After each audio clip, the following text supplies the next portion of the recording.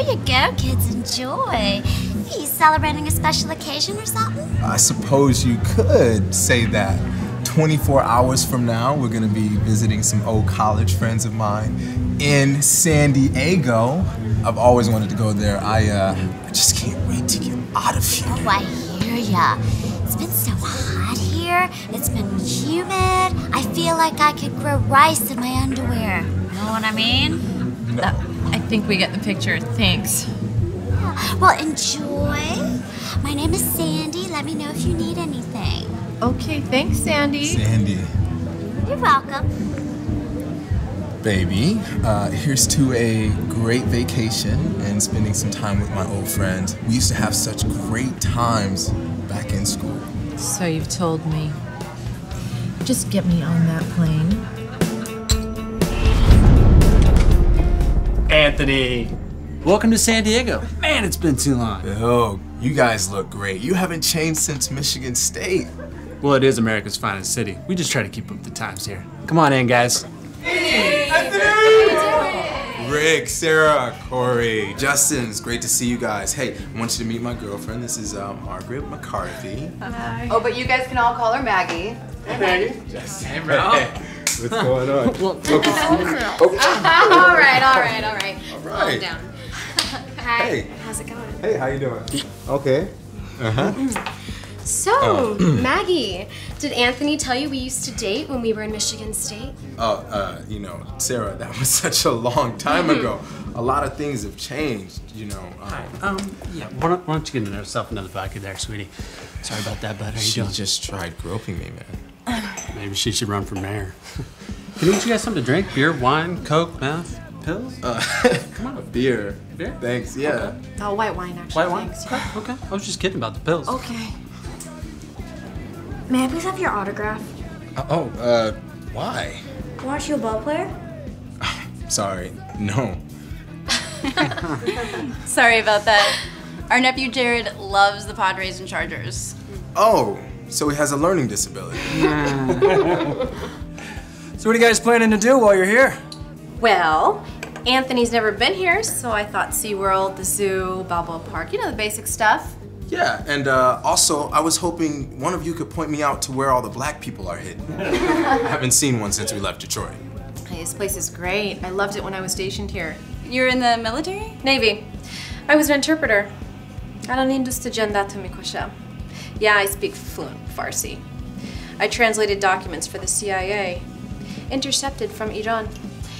Is it Iran or Iran? Oh, I know. No one gives a fuck. I'm gonna intercept this little convo and tell a joke. oh, drum roll, please.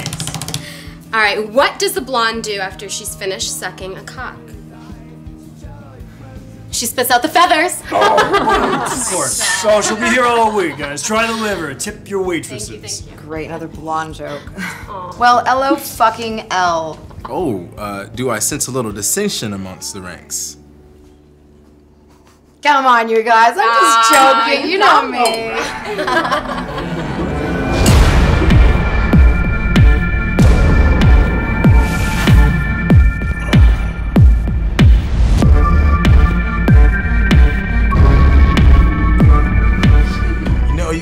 uh, we've known each other for some years now, but you guys seem so different from what I remember.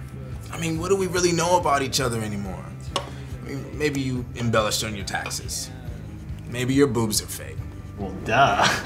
Maybe you're a sexual deviant. Well, duh. I- all I'm saying is, everyone, everyone has something about themselves, some deep, dark secret that they've never told anyone about. Maybe it's, uh, maybe it's because they don't want to admit it to themselves out of fear for destroying themselves or, or even hurting someone they love.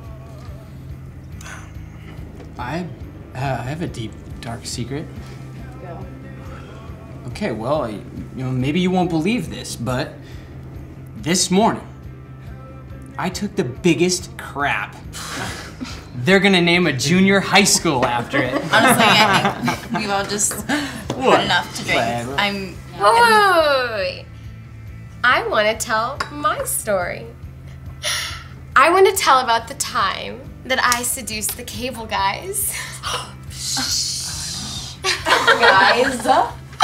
I needed Cox to visit my service area. Uh, honey, I think you've had enough to drink, okay? Yeah, when would you know when I've had enough? Huh. All right, Anthony, looks like you were right. We don't know each other as well as we thought. Here's a little something that you guys didn't know about me.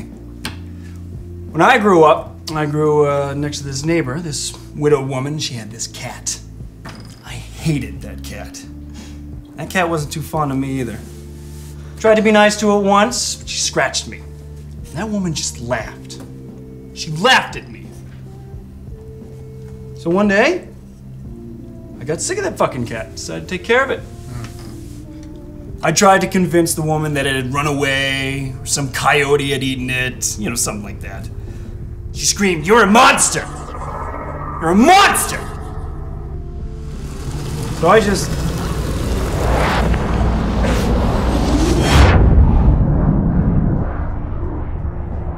You know, never mind. Anthony, was great catching up with you.